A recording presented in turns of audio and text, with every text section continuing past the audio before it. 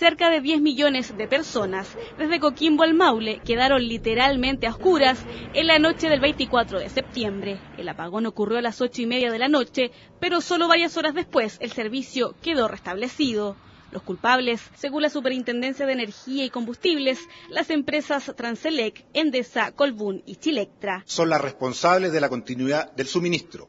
Y esta superintendencia, junto con perseguir dichas responsabilidades, está dando una clara señal para que este tipo de situaciones no se vuelvan a repetir. Las compañías tienen 15 días para prestar sus descargos, tras lo cual la superintendencia podría determinar multas. Estamos hablando de sanciones que pueden variar entre una y diez mil unidades tributarias anuales. Es decir, entre unos 470 mil pesos y más de 9 millones de dólares. Según la investigación, el apagón se debió al cortocircuito en un interruptor de Los cargos apuntan a falta de mantención y a falencias en el procedimiento para restablecer el servicio en el caso de las otras tres empresas. Las compañías del sector conceden que hay fallas. Eso, el efecto que llegó a generar la extensión pudo haberse evitado si el diseño de nuestro sistema tuviera niveles de seguridad superiores a los que tiene, y eso es algo que sabemos, el gobierno es consciente y estamos intentando trabajar en esa dirección.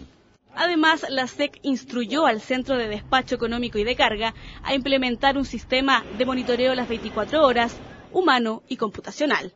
Carla Olivares, CNN Chile.